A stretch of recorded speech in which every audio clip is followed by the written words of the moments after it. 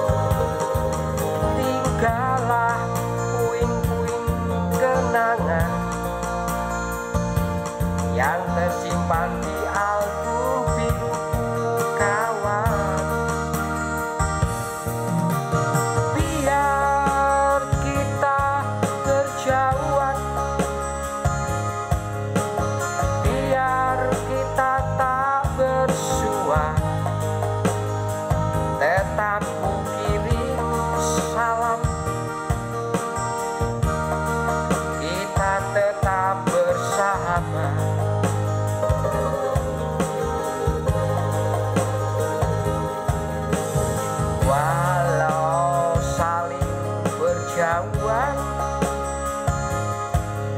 kawan